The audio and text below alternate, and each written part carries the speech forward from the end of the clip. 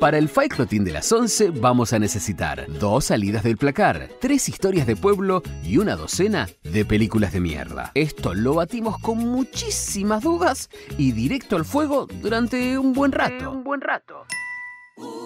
Antes de emplatar agregamos una moraleja sin sentido.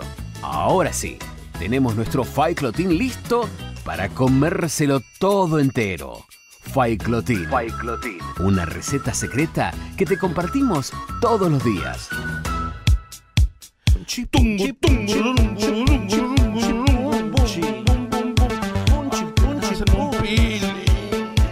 quedar toda nenota de cara. ¿Te parece? Sos una nenota. ¡Calla! ¡Callate!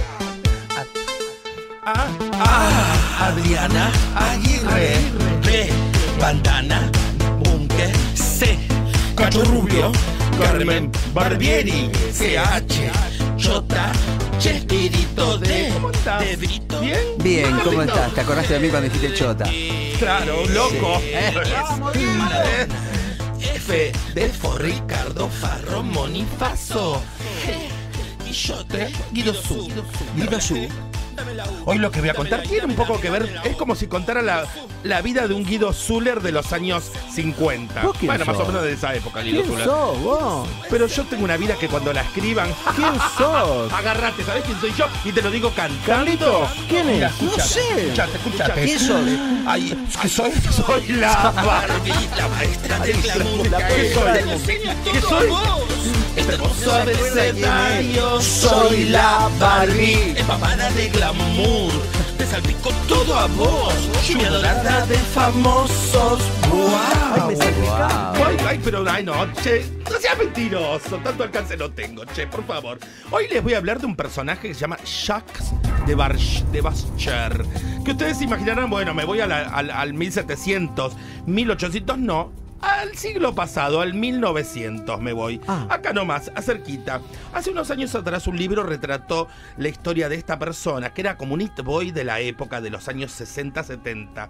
Que nada, que calentaba mujeres, calentaba hombres. Y se llamaba Jacques de Barcher, Dandy del hombre, Dandy, el, el chongo de los hombres, Ah, así. Porque yo mi francés mejor te lo, te lo traduzco con lo que yo supe. Nació en Saigón. En mi- eh, ¿Cuándo? El 8 del 7 del 51. 8 de julio del El 51. 8 de julio, el 8 de julio, de Indochina, francesa. Eh, el, el padre era gobernador de la provincia de Cholón. Era un niño bien, un niño Ah, Cholón. Cholón. Un niño bien, bien, miembro de la burguesía francesa. Su infancia la pasó en un departamento de un barrio finísimo a las afueras de París. Y su castillo familiar ahí en las cercanías de París, Qué lindo. Francia. Una familia acomodada. Acomodada, aristocrática, te- pero tremenda, tremenda. De, de familia de nobles, pero venidos a menos. Hizo el servicio militar, así como lo ves, mm, en la Armada Francesa, en Tahití, donde escandalizó a la tripulación ¿Por? acosando. Y fue encontrado oraleando a un cabo y lo rajaron. Ah, se- oraleando, oraleando. Sí, claro. Recapacitó como, recapacitó y se, alistó empanada. como azafato de Air France. Pero sobre todo vivió la vida. Fue mili- tuve, estuvo de servicio militar y todo eso. En la, en la ado- en la adolescencia sedujo a los profesores directamente del instituto donde, estu- donde estudiaba y él le, le cayó la ficha de él mismo que él estaba fuerte y, él- y tenía clase. Claro. Mi amor, que se podía comer tanto hombre, mujer, planta, dinosaurio, lo que sea era consciente de su facha. empezó a tomar, eh, eh, empezó a concientizar que era, tenía su cuerpo y su belleza y su cultura, era un arma de valor incalculable. Esto, le esto, esto me va a abrir puertas y esto, y que siempre me iba a ir bien en la vida, así nomás, ya él lo tenía claro, clarísimo. Era bello, joven, culto, inteligente, educado y, y bien vestido, porque tenía plata, ¿eh? era un niño bien, y tenía un guardarropa altamente sofisticado. Qué bueno. Tremendo. Y se metió en la elite frívola de los años, adineradísima de los años 70. Se lo veía siempre pululando o andando por un café muy conocido de París, el Café de la Fer, que era lo más de lo más y era un aquelarre de gatos, donde Ah. iban a tirar la caña a ver si algún viejo o una vieja agarraba viaje. También se lo veía mucho por el. ¿Cómo? A ver si agarraba vieja. Ah, Lo que sea, lo que sea, lo que sea. Nah, yo estoy, estoy concentrado en lo mío. Este, también, también se lo veía mucho por un boliche gay donde iban diferentes clases sociales, ricos, pobres, gays, hetero, viejos, ricos, jóvenes, todo, todo, todo, todo. Tardó, tardó en formar parte de la noche y el jet set. Pero se fue colocando, colocando y relacionó, se relacionó con todo el estético del recordado Andy Warhol. Andy Warhol, el Uh. artista plástico, imagínate. Yves Saint Laurent y todo su séquito donde la vida pasaba por ser que bello, bailar, reír, vestirse bien y por supuesto drogarse, garchar, garchar, garchar y lo que siga garchar. Estamos Todo hablando eso. de un joven Jax que en los 70 tenía 20 años. Tenía, sí, de los 50, 20, 20 y pico, sí, 20 y pico, 20 y pico. Adictísimo a las drogas y aficionado a la promiscuidad sexual. Entregado a todo, todo. Su vida consistía en lo que dije, bailar, comerse el mayor número de tipos posibles, vestirse bien y todo eso. Fue memorable el día que se pre- que se presentó en el Maxim de París, un lugar muy famoso de allá, con desnudo solamente con un frac pintado en el cuerpo como único atuendo. ¡Qué Ah, audaz! body paint, body paint. ¿Qué qué? Un body paint. Eh, eso, eso, eso. Se puso muy abajo la corbata, le Se decían. puso muy No, no, abajo. no ¿Qué- es la qué- qué corbata, señor. Jax era un dandy casi hasta un punto caricaturesco, porque Ah. todo lo que se hacía, todo pintado, era como, ay, show, show, show, show. Estaba ajeno al mundo, era, era, estaba metido en la sociedad, se aseguraba de no tener obligaciones. El dinero, el trabajo y las realidades normales de todos los seres humanos no estaban en sus preocupaciones. Claro. Mi amor, mi amor, soy aristócrata fina y soy linda. Hasta que se encontró con Karl Lagerfeld, el famoso Uh. diseñador. Fue mucho antes de convertirse Lagerfeld en lo que fue el Kaiser de la moda y todo Ah, eso. Y estar en, en lo que fue la, la casa Chanel. Nada, fue el trampolín para rascarse más y tener más placeres. Lagerfeld se volvió loco por él y lo convirtió en su musa y amante en 1971. Ah, era. La musa se la comió. La musarela, claro. Lo conoció en la famosa disco gay, la que presentados por la hermana de uno de los amigos del modisto, ya que tenía en ese momento, como vos más o menos calculaste, 22 añitos, viva vivísima. Bocato. Y el, el el diseñador quedó fascinadísimo por este joven que tenía encima de todo de lindo cultura, bello, elegante, que causaba estragos. Estragos era lo más de la noche parisina. Era un bon vivant divino, divino, divino. Pero los dos vivían en departamentos separados. Y nada, en 18 años juntos formaron una pareja extraña, ultramoderna, un dúo indestructible, donde, según Lagerfeld, no hubo sexo. Haceme reír desde tu tumba. Sin embargo, el sexo fue todo en la vida de, de la persona que les estoy hablando. Jax. Le gustaba comer todo, era irrefrenable. Una época giraba en torno a la liberación. Una época donde los 70 era una liberación sexual, la llegada de la píldora anticonceptiva y bla, bla, bla. Y él estaba totalmente salido del closet y no le importaba y le encantaba escandalizar a este maricón. Tremendo. Todo quería Cuando tener. decís todo, es todo. Todo, todo, todo, todo quería tener poder, poder de todo, desde un policía, un cura, un cura sin sotana, el un jugador de tenis, todo lo que fuera, un, un actor, un estanciero, todo, todo. Eh, Giraba abiertamente con otros en la calle y organizaba orgías en la casa donde la merca era la furia principal. Giraban los espejos retrovisores de la Harley Davidson cuando iban todos en las motos hacia arriba y ahí tomaban como locas, no les importaba nada.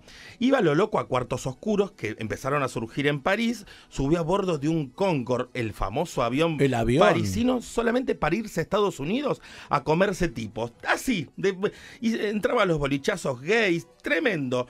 Burgue- era un burgués tremendo. Y también iba a por Tom Selleck. ¿Lo tenemos a Tom Selleck? El Sí, bigotero. el bigote, Ese claro. mismo. Nah, Magnum. Magnum. Iba por Magnum. Ma- Era, no le Sí. importaba nada, pero creo que no llegó a comérselo ni loco. Ni un tirito. Nada, hubo una fiesta que le organizó que se llamaba la Black Moratorium, donde era, un- eh, era, era un 24 de octubre del 77, donde se acudían 1.500 personas y el dress code era ropa negra. Para ser testigos, esto es fuerte, no sé si lo voy a contar, pero eh, Con Contalo. metáfora. Con metáfora. eh, la primera introducción Eh, bueno, no lo puedo decir. Ni con metáfora. Ay, Ni Ni con con metáforas metáfora. tan fuertes. ¿De qué se trata? La introducción de una ¿De qué se cosa a otra, basta, Sí, en bueno. público. Ay, ¿qué será? punto. Eh, sí, En sí, sí, público. sí. En público, claro. Por eso citó el Black Moratorium, que es 2.500 personas, Ah. para hacer todo esto. Eh, Saint Laurent también lo vio. Lo vio. ¿Qué será? Después de los que me lo, lo- que lo- me lo preguntan, se lo cuento, se los cuento Sí. en privado. Le metió el botón en el ojal. Nada, sí, todo Digo, eso. una metáfora. Este Yves Saint Laurent estaba fascinado con este Ah, tipo. ¿también? También se metió este. este le gustaba el sadomasoquismo gay.